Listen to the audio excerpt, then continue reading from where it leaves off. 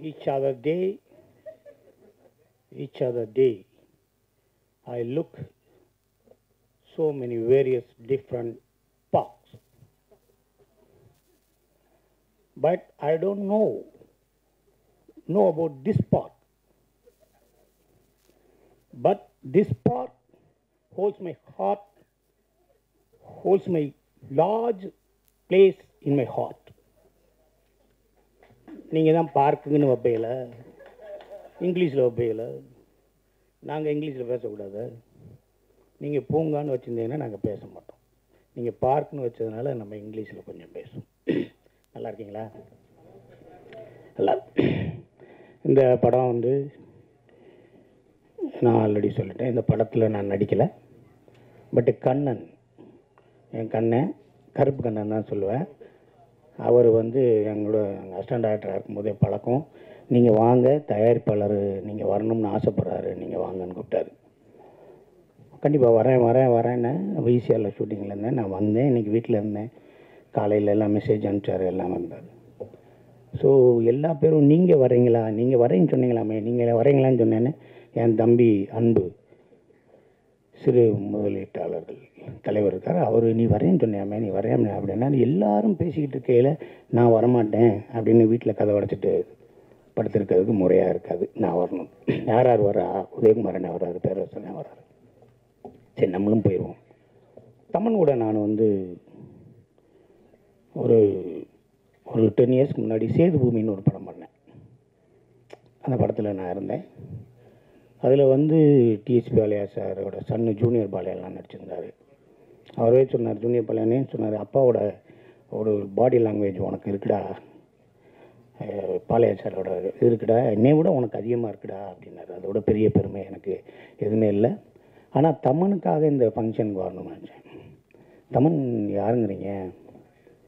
அவன் பெரிய ஒரு ஏர்லைன்ஸில் ஒரு ஒரு டென் இயர்ஸ் பேக்கே அவன் நாலரை லட்ச ரூபா அஞ்சு லட்ச ரூபா சம்பளம் வாங்கக்கூடிய ஒரு ஒரு பையன் தம்பி. அப்பயே டென் இயர்ஸ் முன்னாடி அவன் அவ்வளோ பெரிய போஸ்ட்டில் இருந்த பையன். பெரிய போஸ்ட்டில் இருந்தாப்புல ஏர்லைன்ஸில் ஃபாரினில் எமிரேட்ஸில் அதெல்லாம் வேணாம்ட்டு இங்கே வந்து உட்காந்து பண்ணிக்கிட்டே இருக்கார் பண்ணிக்கிட்டே இருக்கார். திடீர்னு பார்க்குறேன் ஒரு சீரியலில் லீடாக பண்ணுறாரு திடீர்னு பார்க்குறேன் என்ன தம்பி எங்கடா இருக்கு? அப்படின்னா ஒரு நொடின்னு ஒரு படம் பார்க்குறாரு அதுக்கப்புறம் பார்க்குறேன் பார்க்கில் பறக்க வர்றாரு. உனக்கு இந்த சினிமா கண்டிப்பாக செய்யும்ப்பா நீ கவலையப்படாத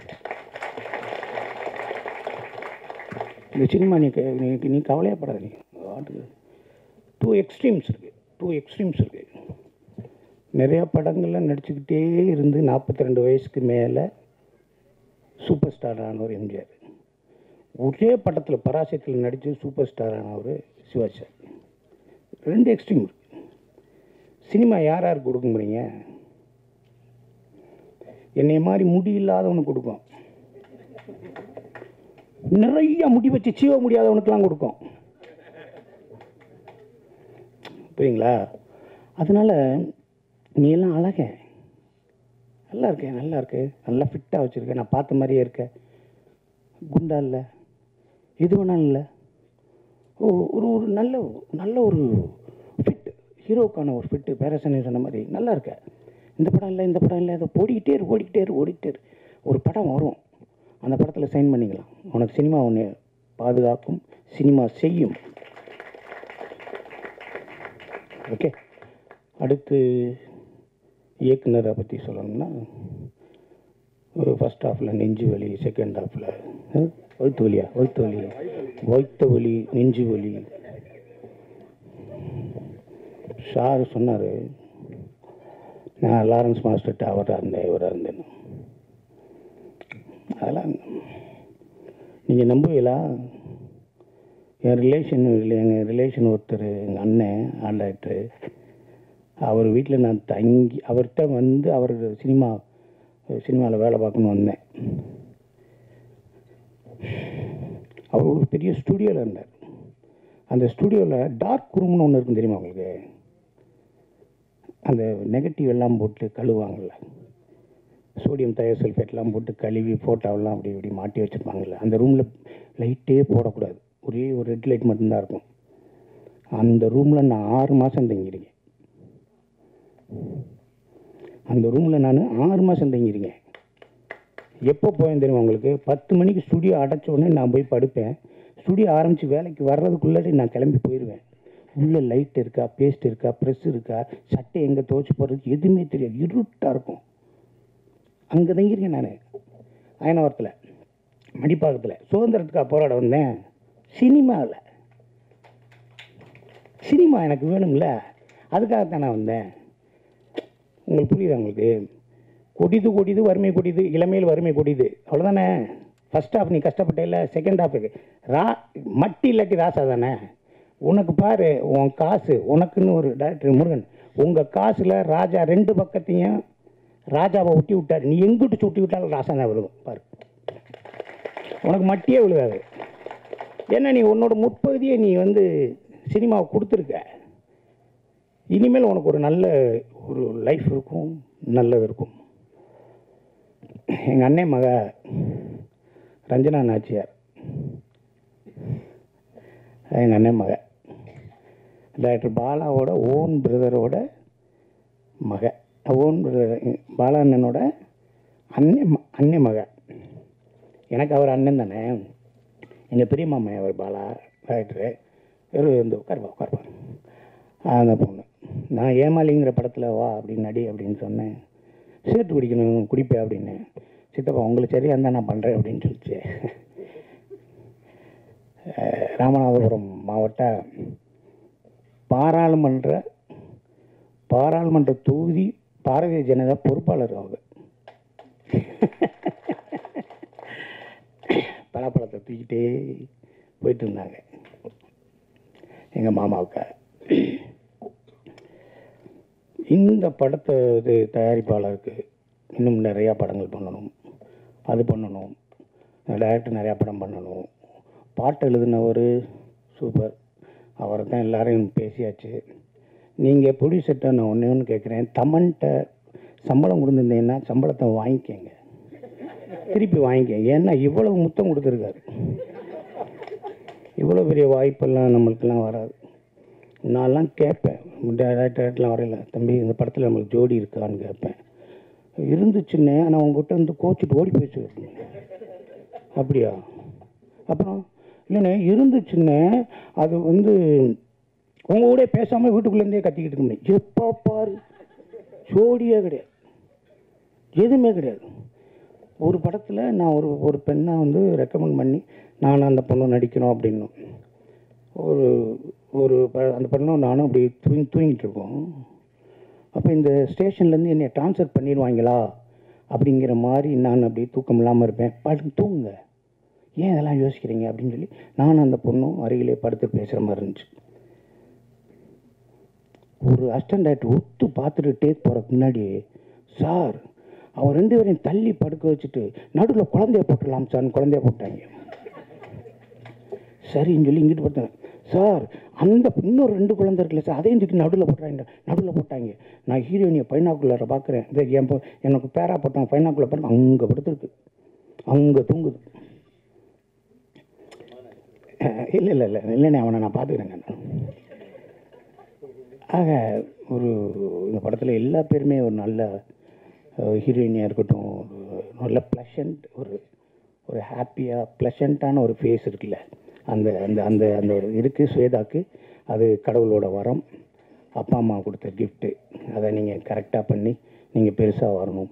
அப்புறம் அப்பா அம்மா அவங்களுக்கு பிறந்து உதயகுமார் சாருக்கு பிடிச்ச மாதிரியே இருக்க ஹீரோயினோட அம்மா ஜெயந்தி மாலாவும் அவங்களுக்கும் அவங்களும் நல்லா அவங்களும் பெரிய லெவலில் வரணும். இங்கே இருக்க எல்லா கேரக்டர்ஸில் எல்லாமே வரணும். ஒரு தமன் கூட நினைக்கும் போது ஒரே ஒரு காமெடி மட்டும் சொல்லிட்டு முடிச்சிடுறேன்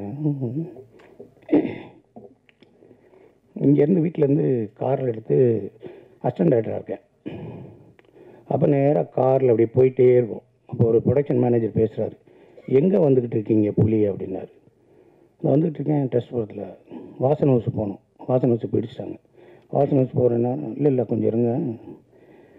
ரைட்டில் மைக்கிள்னு ஒருத்தர் இருப்பார் அவரை கூப்பிட்டு வந்து சரின்னு சொல்லி மைக்கில் கூப்பிட்டு போனால் மைக்கில் வந்து ஒரு பெட்டி எடுத்து வந்தான். என்னடா நான் ஏற ஏற ஏறி ஏறி ஏறி ஆகியா அது என்ன பெட்டியில் இருக்கவன திறந்து திறந்து காமிச்சான். உள்ள ஒரு பொம்மனேரிய நாய் உட்காந்துருந்துச்சு இது என்னையான்னு கேட்டேன். அதான் சார் இது அம்மாவுக்கு அம்மாவுக்கு ஐன்கோனில் நடித்த மாதிரி ஜிக்ஸித் மடியில் உட்காந்துருந்த நாய். சல்மான் கான் தூக்கி வளர்த்த நாய். அப்படியா? உட்காரியா உட்காரியான்ட்டு உனக்கு திருப்பி போயிட்டே இருக்கும் அப்போ அவருக்கு அப்புறம் போனோடனே திருப்பி ஃபோன் வருது. சாஸ்தா நீங்கள் வரையில் அந்த ஆர்டிஸ்ட்டை கூப்பிட்டு வாங்கண்ணே இந்த ஆர்டிஸ்ட்டை காக்கா ராதாகிருஷ்ணன் இருக்காரு. அவரை கூப்பிட்டு வாங்கண்ணே நாங்கள் சொல்கிறிய அப்படின்னு சொல்லி அப்போ ஜிபே கிடையாது. ஒன்று ஒரு புண்ணாக்கும் கிடையாது. அங்கே போனோடனே அவர் வீட்டுக்கு போனோடனே அவர் வாங்க வாங்க உட்காருங்க வாங்க வாங்க அப்படின்னு கதவை திறந்தேன். நாய்க்கு பசிக்குதுன்னு அவன் பிஸ்கட்டை கொடுத்துட்டேன். அந்த பிஸ்கட்டை சாப்பிட்டு இப்படி திரும்பி பார்த்தோன்னே அன்னைக்கு காக்காராசன் அண்ணன் வர்றாரு. அவ்வளோன்னு குழச்சிருச்சு. உடனே அவர் டென்ஷன் ஆகிட்டார் ஏண்டா நாய் கூட்டு போகிற வண்டியிலாடா நீ ஏற்றுறீங்க என்னடா நினச்சிக்கிட்டு இருக்கு? நான் சான்ஸ்க்கு ஏன் கத்துறாரு? ஐயா ஐயா ஐயா ஐயா ஐயா ஐயா வாங்க எட்டு மணி ஆச்சு வாங்க போலாமியா போலாமியா கெஞ்சுறேன். இல்லை ஏற மாட்டேன்ட்டோன்னு என்னை திரும்பினோடனே நீ இந்த வண்டியில் வரக்கூடாது. நீ தானே ஸ்டாண்டர்ட் நீ தானே ப்ரோக்ராம் பண்ண. வரக்கூடாது. நான் கெஞ்சுறேன். நீ போனேன்னு ஆட்டோ காசு இல்லை என்னை வாங்கினேன் வாங்கினேன் நான் சொல்லேன் முன்னாடி உட்காந்துருக்கேன் வரவே விடாதுனாரு. கார் கதனாடி மூட்டார். நான் சொன்னேன் இந்த அம்பாசரில் காக்கா போகலாம் நாய் போகலாம் சிங்கம் புலி வரக்கூடாதான்னு.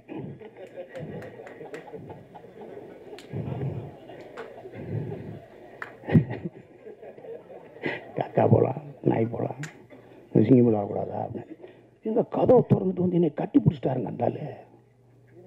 எவ்வளோ பெரிய ஆளு. கட்டி பிடிச்சாரு. அவர் மனோகரால நடிச்சார் பாருங்க. போர்லேயே ரெண்டு வகை உண்டு. ஒன்று வைக்கப்போர் ஒன்று அக்கப்போர்னாரு பாருங்க. போர்லேயே ரெண்டு வகை உண்டு. ஒன்று வைக்கப்போர் ஒன்று அக்கப்போர் அப்படின்னாரு பாருங்க. அதெல்லாம் ரெஃபரன்ஸ் எடுத்து தான் நான் மாயாண்டி ஒன்று தரல லூஸாக நடித்தது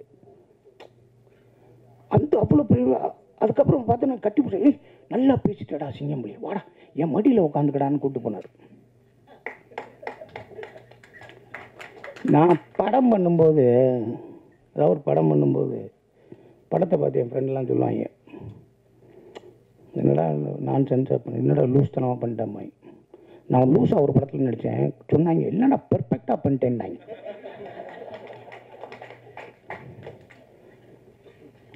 ஆறு அசிஸ்டன்ட் டைரக்டர் ஒரு ரூம் வீட்டில் இருப்போம். முடிக்க போகிறேன் முடிக்க போகிறேன் முடிக்க போகிறேன் ஆறு அசிஸ்டன்ட் டைரக்டர் ஒரு வீட்டில் இருப்போம். எல்லா பேரும் வேலை. பி வாசு உதயகுமார் சார் எல்லோரும் அவங்கவுங்ககிட்ட வேலை பார்க்குறாங்க. நான் எல்லா பேர் கார் வந்தோடனே மாப்பிள்ளை உன் கார் வந்துச்சு. நீ போடா நீ போடான்னு எல்லாத்தையும் ஏற்றி விட்டு கதை அடைப்பேன் கதை உடம்பேன் அப்போ எல்லாருமே வண்டியில் போகும்போது எனக்கு நான் ஒரு ஒரு எனக்கு ஒரு ஒரு மென்டல் நான் இவர்கிட்ட தான் வேலை பார்க்கணும். நான் இல்லாட்டி வேலை பார்க்க மாட்டேன்னு ஒன்று இருக்குது அப்போ போயில் எல்லா பேரும் போயிட்டு வாடா போயிட்டு வராங்கன்னா எல்லா அசிஸ்டன்ட் போகிறேன் ஃப்ரம் தான் அசிஸ்டன்ட் இப்போ இருக்கேன் ரெண்டு கோடி ரூபா மூணு ரூபா சம்பளம் வாங்குறேன் பெரிய டேரக்டர் இருக்கேன் அவன் போகையில் எல்லாம் பத்து ரூபா கொடுப்பேன். சிம்பி ஒரு சாயந்தரம் ஒன்று இந்த இந்த பத்து ரூபா. ஏன்னா பத்து ரூபா போய் சரா சரா சரான்னு பத்து ரூபா மொத்தம் ஐம்பது ரூபா அறுபது ரூபா வரும். அதை காப்பி குடிச்சிட்டு மதியானம் சோறு ஆக்கி வச்சுட்டு கொஞ்சமலை சோறு ஆக்கி தயிர் சோறு வச்சுட்டு அப்படி இப்படி இப்படி அந்த ஐம்பது ரூபா அறுபது ரூபா அதுக்கும் சாயந்தரம் வந்துடுவாங்க. அப்புறமேல ஏதாவது சாப்பாடு வாங்கி கொடுப்பாங்க. அப்போ சொல்லுவாங்க தினமும் வேலைக்கு போகிறவன்னா அறிவாளி கிடையாது. ஷூட்டிங்கு வேலைக்கு போகிறவங்களாம் அறிவாளி கிடையாது. வேலையே இல்லாமல் வீட்டில் உட்காந்துருக்கவங்களாம் முட்டாள் கிடையாதுடா. தைரியமாக இருந்துமாய் அதைத்தான் இன்றைக்கி இருக்க சினிமாவில் இருக்க அத்தனை பேர்த்துக்கும் சொல்கிறேன் என் சொந்தங்களே உயிர்களே உங்களுக்கு வாய்ப்பு இல்லைன்னா நீங்கள் முட்டாள் கிடையாது. உங்களுக்கு வாய்ப்பு வரப்போகுது. வாய்ப்பு வரப்போகுது. அதுக்காக ரெடியாக இருங்க. ரெடியாக இருங்க. நான் ஃப்ரெஞ்சு கிஸ்னு ஒரு படம் பார்க்குறேன் நிறைய தடவை பார்த்துருக்கேன் ஐ லவ் த ஃப்ரெஞ்சு கிஸ்னு ஒரு ஒரு இங்கிலீஷ் ஃபிலிம் பார்த்துருக்கேன் அதை ஒருத்தன் போய் ஒரு மண் இருக்குல்ல மண் கீழே கிடக்கிற மண் அந்த மண்ணை எடுத்து அப்படியே பார்ப்பான். அவன் அவனோட சொந்த ம விளை நிலம் அவனோட விளை நிலம் விவசாயம் பண்ணலை. அந்த மண்ணை எடுத்து சொல்லுவான் இப்பயே நல்லா ரெஸ்ட் எடுத்துக்கோங்க.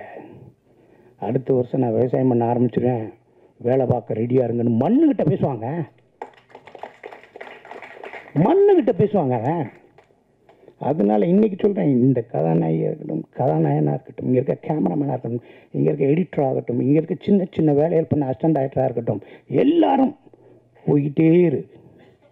திருடாத பொய் சொல்லாத ஏமாத்தாத துரோகம் பண்ணாத. உனக்கு வரும்டா வாழ்க்கை. உனக்கு ஒரு நாள் வரும். இந்த சினிமாவில் கெட்டது பூரா பக்கத்தில் இருக்கும். கெட்டது பூரா உன் பக்கத்தில் இருக்கும். எதை எடுக்கணுமோ அதை நீ எடுத்துக்க. Which one is best choosing wisely எல்லாத்தையும் நீ எது வேணுமோ அதை எடுத்துக்க.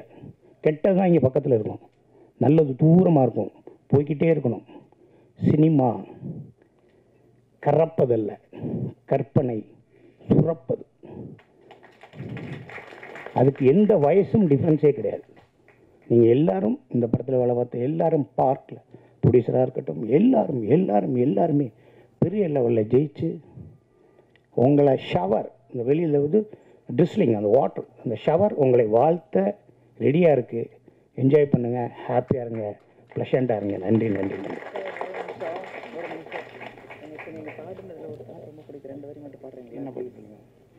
நான் ஒரு சின்ன ரிக்வஸ்ட் சொல்லியிருக்கேன். சார் நல்லா பாட்டு பாடுவாங்க. அதாவது சங்கீத ஜாதி முல்லை அவரோட குரலில் ரெண்டு வரி மட்டும் கேட்போம். ம்? இங்க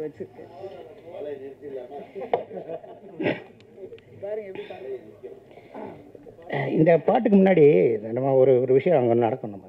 டப்பிங் போவோம். டப்பிங் போகையில் ஒரு இடத்துல ஒரு ஒரு ஒரு ஷார்ட் ஒன்று பேசுவோம். ஏய் எங்கடா படம் அண்ணே கொஞ்சம் லவுட்ரா அண்ணே கொஞ்சம் இல்லைண்ணே கொஞ்சம் பேச அண்ணே கொஞ்சம் அண்ணே அஸ்கியா அப்படின்னு சொல்லுவாங்க. சொன்ன உடனே அதை போஸ்ட் பண்ணுவாங்க சிங் பண்ணுவாங்க. அப்போ ஒரு ஃபோர் ஃபோர் மினிட் இல்லை டூ மினிட்ஸ் இல்லாட்டி ஒன் மினிட் நம்மளுக்கு ரிலாக்ஸ் இருக்கும்.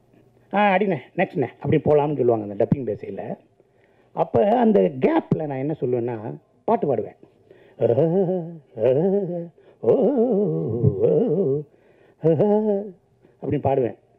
அதாவது அங்கேருந்து இன்ஜினியர் ரூம்லேருந்து என்னே சூப்பராக பாடுறீங்கன்னு எவனா சொல்லிடுவானான்னு ஏங்குவேன். அந்த டைரக்டரு என்ன என்ன நல்லா பாடுறீங்களேண்ணே இந்த பாடம் இந்த பாட்டில் ஒரு தொகையரை ஒன்றா பாடிடுறீங்களா அப்படின்னு அந்த ஆள் சொல்லுவான்னு ஏங்குவேன் எவனா அவன் டப்புன்னு கையை கொடுத்துருவானான்னு ஏங்குவேன் புரியுங்களா உங்களுக்கு ம், அண்ணன் பாட்டே இருக்கும் கொண்டு வந்து நான் அண்ணன் பாட்டு சின்ன சின்ன கொண்டெல்லாம் பட படத்தில் நான் அதெல்லாம் பாடுவேன் நான் ஆனால் ஒரு பேரும் சொல்லவே மாட்றாங்க நான் இடையில காட்டணும் ஓஹோ அப்படின்னு நிறைய பாடுவேன் ஒன்றுமே சொல்ல ஒரு அசிஸ்டண்ட் ஒரு நம்ம டச் அப் பாயை கூட்டு போயிட்டேன். வாடா எங்கே நான் வாடா டப்பிங் போகிறேன் நான் எங்கே டப்பிங் வாடா நான் இங்கே டப் பண்ணுவேன். நீ இன்ஜினியர் ரூமில் இரு. சரிண்ணே. அங்கே என்ன சொல்கிறாங்கன்னு மட்டும் என்கிட்ட சொல்லு. ஓகே அங்கே போய் நின்றான். டப்பிங் நடந்துச்சு. பேசினேன். இன் பிட்வீனில் சங்கீத ஜாதி முல்லை காணவில்லை. கண்கள் ரெண்டும். அண்ணே அண்ணே ரெடினே ரெடினே போலாம்னே அப்படின்பா என்னடா கட் பண்ணுறாங்கன்னு அடுத்து. தம் தம் நனம் தம். அண்ணே போலாம்ண்ணே போலாம்ண்ணே உயிரே உயிர் அண்ணே அண்ணே உடனே போலாம்ண்ணே போலாம்னே சரி டப்பிங் முடிஞ்சு பாட விட மாட்டாங்க. வந்துச்சு காரில் ஏறி அவனை உட்கார வச்சாச்சு போயிட்டே இருக்கு. தம்பி எப்பட்ற சூப்பராக பண்ணிட்டேங்களே டப்பிங் நான் பண்ணது எனக்கு தெரியும். நான் பாடும்போது அங்கே என்ன பேசினாங்க? அண்ணே நான் பாடும்போது அங்கே என்னடா அண்ணே அந்த ஒரு அசிஸ்டன்ட் ஐயோன்னாருண்ணே நான் அவங்களுக்கா ஆக்சிடென்ட் லூஸ் பட அவளா டைரக்டர் ஆகும் விட்றா டே இது இன்ஜினியர் என்ன சொன்னார்? ஆரம்பிச்சிட்டாரா அப்படின்னு நான் புர்ற. நான் இந்த தேட்டர்லேயே போடக்கூடாதுன்னு சொன்னேன் இந்த தேட்டரில் போட்டாங்க. டைரக்டர் என்ன சொன்னான்? அந்தாள் என்ன சொன்னார்? அண்ணே விட்டா எப்படியாவது ஏட்டி முட்டியாக பாட்டிக்கிருப்பாரு சீக்கிரம் முடிங்கன்னா சார். அப்படி ஓரமாக வண்டியை நிப்பாட்டி அவன்கிட்ட ஒரு இரநூறுவா கொடுத்து இந்த விஷயத்தை எங்கேயாவது வெளியே சொன்னேன்னு வச்சுக்கோ. கொளுத்தி போடுவேன். ஓடி போயிடவில்லை இப்போ அவன் டச்சப்பா வர்றான் எனக்கு பேக் தூக்குறான். அவனை அப்படியே பார்ப்பேன். மோரட்டோட மோரக்கட்டை அவன் என்கிட்ட சங்கீத காதி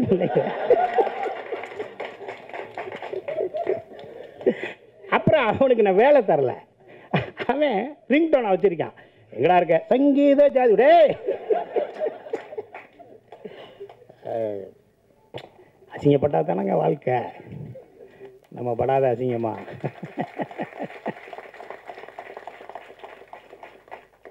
நீ என்ன என்னை அசிங்கப்படுத்துறது? நம்ம நிறைய அசிங்கப்பட்டாச்சு. அப்படிதான் சொல்லணும் அன்பு அன்பு கடையில் ஹோட்டல் வச்சுருப்பாப்புல நைட்டு போய் நைட்டு பதினோரு மணிக்கு. வந்து ஒரு மணிக்கு புரோட்டா வாங்குறது அது வாங்குறது இது வாங்குறது காசு வாங்க மாட்டாப்புல. பங்கு.